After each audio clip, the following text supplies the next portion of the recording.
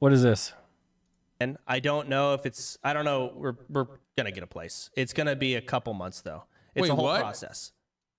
Wait, is he separating from Nick and Malena? Because I will literally, dude, move in with me. Nick, Malena, live in Los Angeles. Move in with me. If you leave, if Soda is trying to leave you, if he doesn't appreciate you, I will.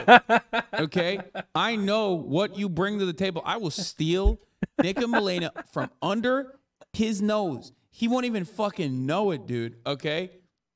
I will never leave you guys. Look at this man. He- a, a JPEG?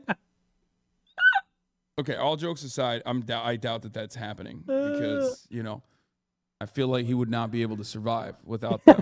this is crazy.